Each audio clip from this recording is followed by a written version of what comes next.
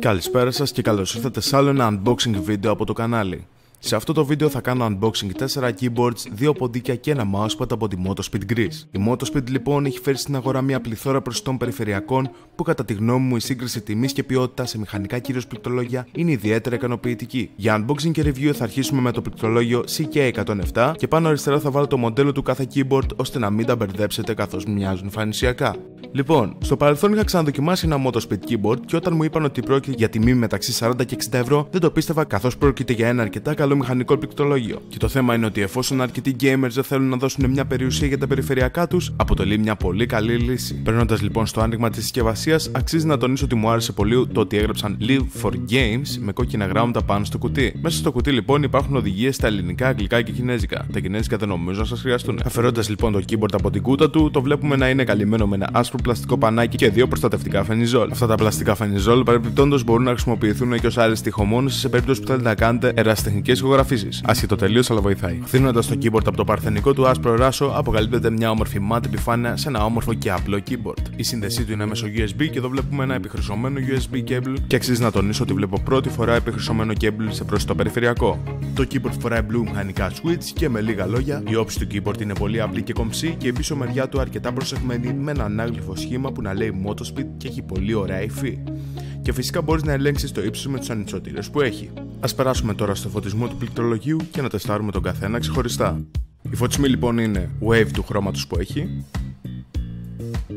ένα matrix πολύχρωμο effect, το κλασικό wave effect, static effect, μπορείς επίσης να αλλάξεις το φωτισμό σε game profiles όπως FPS, MMO, racing κλπ.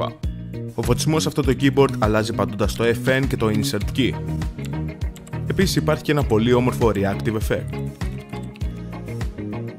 Το επόμενο πληκτρολόγιο που θα κάνω unboxing είναι το Motospeed CK104 που βρίσκεται στην ίδια κατηγορία με το προηγούμενο με μικρές διαφορές όπως το design και τα περιεχόμενα του κουτιού καθώς το προηγούμενο keyboard δεν είχε μέσα αυτό εδώ πέρα το μαραφέτη που μπορείς να αφαιρείς τα keys ώστε να το καθαρίσεις. Θα σας δείξω στην πορεία πώς αφαιρούμε τα keys. Το CK104 λοιπόν έχει και αυτό επιχρησιωμένο USB βίσμα και βγάζοντας το από τα περιτυλίγματά του αποκαλύπτεται ένα όμορφο keyboard με σκελετό χρώμα του σε σημείο. Ας κάνουμε ένα sound test να δούμε πώς ακούγεται.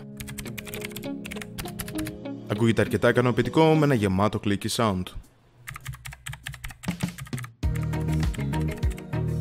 Το συγκεκριμένο keyboard φοράει blue switches όπως και το προηγούμενο και βγάζουν ακριβώς τον ίδιο ήχο. Γυρνώντας από την άλλη μεριά δεν βλέπουμε κάποιο ανάγλυφο όπως το προηγούμενο, αλλά δεν υπάρχει πρόβλημα διότι ό,τι design ήταν να πέσει σε αυτό το keyboard το έριξαν μπροστά. Ας δούμε τώρα και τους φωτισμούς του.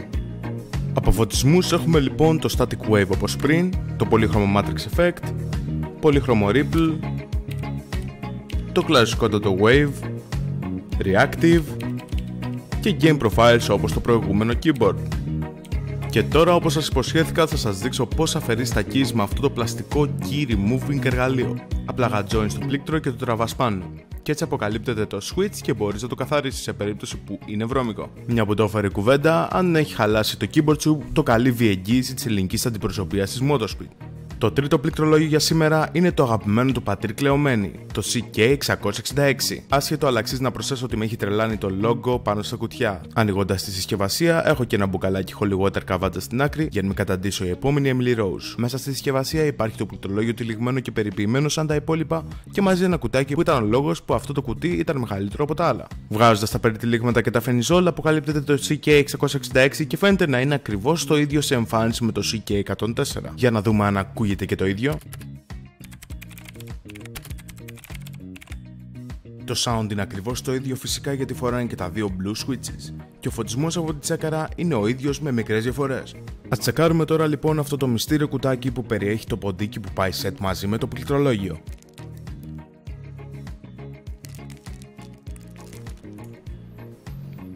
Το ποντίκι έχει πολύ όμορφο RGB φωτισμό και είναι σχετικά βαρύ και στιβαρό. Έχει side buttons και έχει και ένα κουμπί που μπορείς να αλλάξεις τα DPI και τα clicks του έχουν πολύ ικανοποιητική αίσθηση.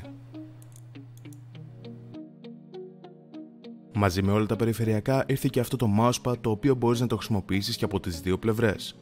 Είναι κατασκευασμένο από αλουμίνιο και γι' αυτό χρειάζεται grips για να κάτσει χωρίς να γλιστράει. Το τελευταίο πληκτρολόγιο για σήμερα είναι το Motospeed K70 και πρόκειται για ένα keyboard με μεμβράνες στα πλήκτρα και LED φωτισμό. Το συγκεκριμένο αποτελεί μια καλή λύση για κάποιον που χρειάζεται ένα keyboard που να έχει απλά λεντάκια και μεμβράνες. Το συγκεκριμένο είναι διαθέσιμο με χαμηλή τιμή και παρέχει LED φωτισμό στα πλήκτρα, αλλά δεν μπορείς να τον τροποποιήσεις. Το keyboard δεν πάβει να έχει ένα πολύ όμορφο σχεδιασμό και έντονο φωτισμό που ρυθμίζεται με διακόπτη. Και για το τέλος άφησα το Motospeed Mouse F61 που είναι ένα mouse των 15 ευρώ με εναλλασσόμενο LED φωτισμό, 6 κουμπιά, smooth ροδέλα, grips για δεξιόχειρες και αριστερόχειρες και Max 2000 DPI. Φαίνεται πάρα πολύ όμορφο σκοτάδι.